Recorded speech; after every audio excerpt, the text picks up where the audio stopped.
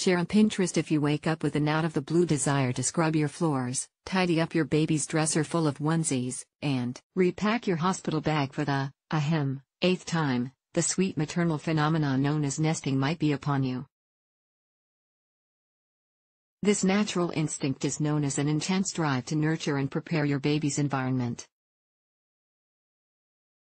This can be channeled into cleaning, organizing, developing birth plans, limiting your social gatherings. It can even take the form of protecting your home prior to your tiny bundle's arrival.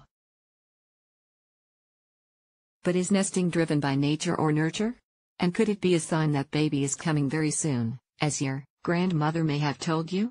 If you feel like you're flying into the nesting zone, nestle in, mama, it's normal. Let's look at why it might happen, what it could mean, and how to get through it in a healthy way.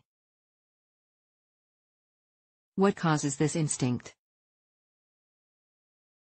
Maybe you're an Uber organizer who's slightly more obsessed with getting every rubber ducky in a row, or maybe your usual type B personality has been hijacked by a hyper-focused alter, PR ego. Whatever it is, there's a likely reason you're wired this way, mama bird. In fact, some researchers have suggested that nesting is due to a somewhat programmed adaptive human behavior to prepare for and protect an unborn baby that stems from our evolutionary roots.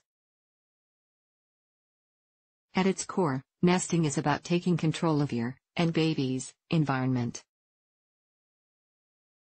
While the cause of nesting is unknown, it's often associated with the hormonal changes that occur throughout pregnancy. Alternatively, nesting behaviors could be coping mechanisms for general or pregnancy related anxiety and stress. When does the nesting instinct typically occur? Results from a 2013 analysis of two studies, one of which was a longitudinal study in pregnant women through postpartum and the other an online survey comparing the responses of pregnant and non pregnant women, revealed that women's nesting behaviors peaked in the third trimester. The study identified nesting behaviors as those that involved preparing space and being more selective with social interactions and surroundings. Interestingly, the pregnancy hormone estrogen, levels of which peak in the third trimester, could be a factor in this maternal baby prep. That sudden surge in stamina that's allowing you to dust from dusk to dawn? It might be attributed to estrogen's ability to boost your physical activity and energy levels. While the most common time to nest is the final weeks before delivery, you may experience it at any point during pregnancy or postpartum, or not at all. Even people who aren't pregnant can experience nesting. Characteristics of nesting Several behaviors might indicate nesting among moms to be, including cleaning. You may have never looked at that spot on the floor like you're looking at it right now, that smudge is haunting your dreams as a potential vector of doom. In all seriousness, it's very common for pregnant women to become focused on the cleanliness of their environment, knowing that baby's immune system is fragile and more susceptible to disease. Dusting, mopping, doing laundry, and scrubbing until everything is spick and span are common traits of the nesting phase. Stocking preparing for everything and anything you might need immediately after baby's arrival is one way to nest. If you're up at midnight filling your online shopping cart with nursing pads, diaper cream, and home supplies that will cover you from birth to three months, it's a sign that your sights are set on stocking up on the essentials, and maybe just a few extras. Organizing you've stocked, laundered, and cleaned, and now there's a pile of baby shower gifts sitting in the middle of the nursery. All at once, it's both a joy and unsettling sight. The intense desire to have it all organized and easy to access is a frequent characteristic of nesting. This can include everything from preparing baby's nursery to tidying up every space, from the pantry to your closet. Packing prepping for baby and motherhood means a whole lot of packing, so it's no wonder that nesting provides a good warm up. Packing, and repacking, your hospital bag, diaper bag, diaper caddy, and more can be a telltale sign that you're getting ready to rule the roost. Planning nesting isn't just about your immediate surroundings, it's also about planning how you'd like baby to enter the world and all that baby might need after delivery. This means that your mind might be consumed with everything from birth plans to nursing classes to selecting a pediatrician.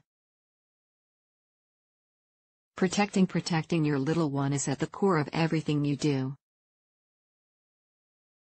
So it's normal to be super vigilant about baby proofing your home, limiting visitors, going a bit overboard with hand sanitizer, and being more selective with social commitments. It's all about creating the safest environment possible for you and your new pride and joy. What about those nesting myths?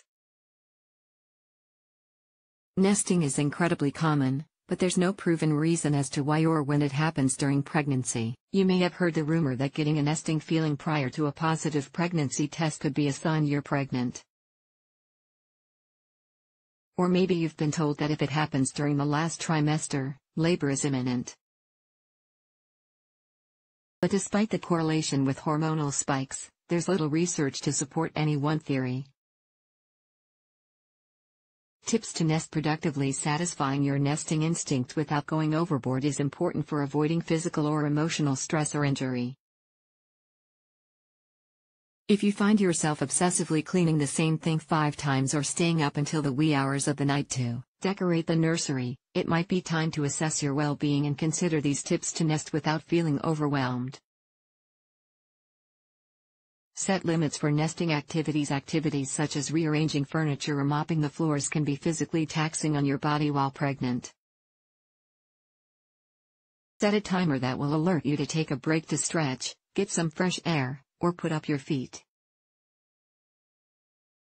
Also, avoid lifting anything too heavy, as doing so can lead to strain or injury. And remember that if you're cleaning with chemicals or solutions, a good safety practice is to use gloves and stay in a well-ventilated area. Be mindful of your feelings sometimes, nesting can be a fruitful coping mechanism to deal with stress or anxiety. Pregnancy can spur a lot of these feelings related to the upcoming delivery and transition to motherhood. If you find yourself feeling overwhelmed, nesting within reason can be a good outlet, but also consider talking to your OBGYN, midwife, or someone else that you trust. Make a nesting plan instead of facing a daunting list of nesting chores. Approach it with a plan that prioritizes tasks within a realistic time frame. That way, you won't feel so rushed to do everything all at once. This will also help empower you to prepare your environment in a positive way. Focus on your needs. It's easy for nesting to be all about baby, but remember that you need some self love as well. Take time to nurture yourself as you prepare for childbirth and your new mommy status. Maybe it's a prenatal massage, pedicure, night away with a friend, buying a few new outfits for postpartum comfort, or dentist appointment that you've been putting off, whatever it is, make nesting about you, too.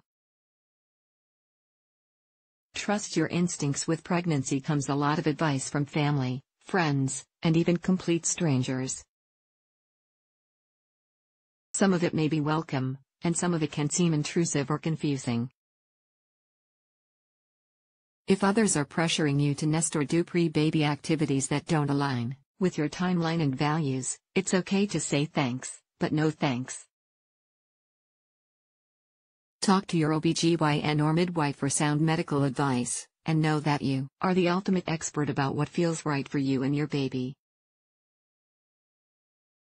The takeaway nesting is a natural instinct experienced by many expecting mothers, most commonly in the last trimester.